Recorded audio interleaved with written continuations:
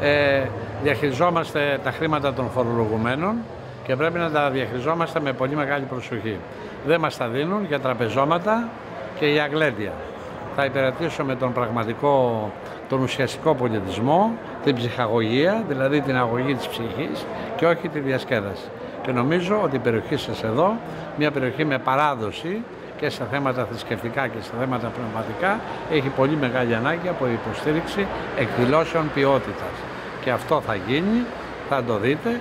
Ζήτησα τους, από τον Αντιπεριφερειάρχη και τους Αντιπεριφερειάρχες εδώ, σε συνεργασία με τους Δημάρχους, να μας δώσουν ένα πίνακα με τις πιο σημαντικές πολιτικές εκδηλώσεις, τις οποίες και θα χρηματοδοτήσουμε. Δεν χρειάζεται να μας παρακαλάει κανείς τα χρήματα που διαχειριζόμαστε είναι χρήματα των φορολογουμένων.